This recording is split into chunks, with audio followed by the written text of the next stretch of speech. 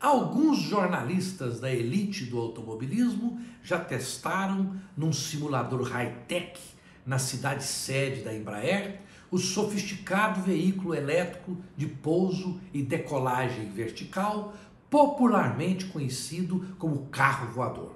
Segundo as pesquisas mais recentes, o turbinado, capaz de pairar sobre as nuvens, se livrando das agruras do trânsito, será realidade em breve.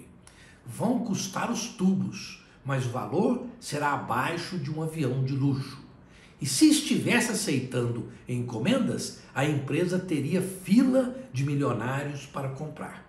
Se de um lado é promissor e até motivo de orgulho que a Embraer possa ser pioneira na corrida pelos ares, me enrosco na angústia constatando que milhões de brasileiros em Goiânia vivem num sufoco, amargam viagens em ônibus fumacentos, se ralando na lotação com atrasos, desrespeito e sofrimento cotidiano. Olho no olho, o carro voador é mais uma constatação, entre muitas, de que urge distribuir melhor a renda e o acesso à tecnologia.